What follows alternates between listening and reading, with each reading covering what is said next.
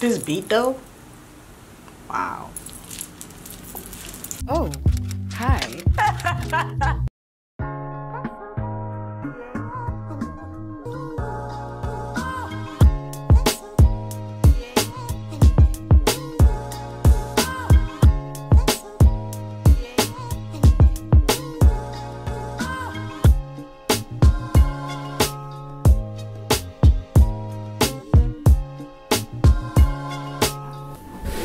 You understand, yeah? Oh, God. Are you, are you, are you ready, yeah? In it. Jennifer will not kill me. Hey guys, welcome back to my channel. So today I'm getting my hair done. You know I always record my getting my hair done. Funny enough, this my hair color. It has changed over the course of me dyeing it and everything. And I feel like it's more of like, yes, thank you. the last time I did braids, I did the color 27, but I feel like this, you can tell, is like more my hair color. And I would have much rather match my hair color than do something lighter.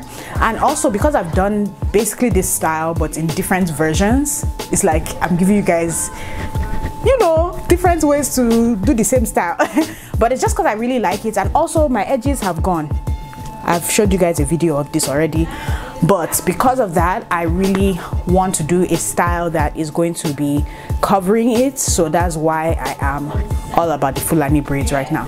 So as usual my stylist is down below. She does my hair all the time. Actually all the fulani braids I've, I've ever done on this channel she's the one that did them. So but this this one we are trying to remix it a little bit and do a little bit of beads and stuff. Cowries for the end of my hair because i wanted beads and cowries instead of just beads because sometimes i like to be doing different stuffs what's wrong with me sometimes i don't even know where I, I don't even know where i went with that but i got these cowries from amazon it's funny because I actually ordered the, the actual beads that I wanted to use were the regular pony beads. Let me show you what they look like. I used to use when we were younger. Everybody remembers these beads.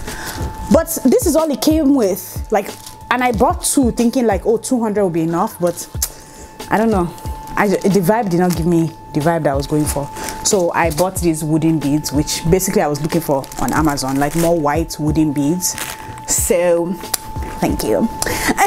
so I ended up going with the white wooden beads so that they will match the cowries. You know what I mean? You get the vibe. But yeah, I think it's gonna be nice because my hair is brown. I feel like if my hair was black, I'll be able to use brown beads, but because my hair is brown, white beads would be better. It's like the contrast of it all. So